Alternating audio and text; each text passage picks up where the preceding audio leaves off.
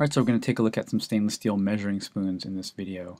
Uh, measuring spoons are great for cooking and food prep.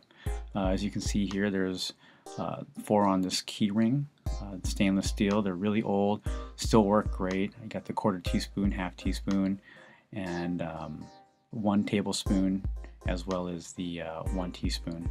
And um, they're solid construction. They're easy to clean and they'll just last forever. So you just can buy one set like this and just not have to buy another set for a long time. This might not be the case with other decorative or plastic uh, measuring spoons.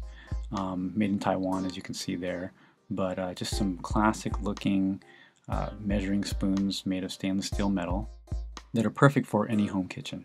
Uh, that's it for these stainless steel measuring spoons. Thanks for watching. YouTube my feet, my feet, my, my, my, my.